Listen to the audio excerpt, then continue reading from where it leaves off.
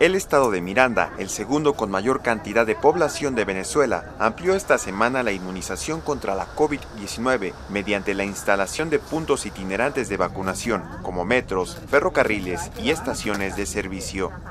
Fuimos formados para eso, para dar salud y que más que ahorita que estamos en pandemia, no solo hacer despistaje de las pruebas, sino también darle a nuestra población la oportunidad de no solo no contagiarse y de, si se contagia, pues minimizar las complicaciones.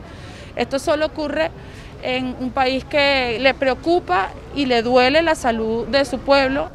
La iniciativa forma parte de la nueva fase del Plan Nacional de Vacunación que busca inmunizar al 70% de la población a finales de octubre.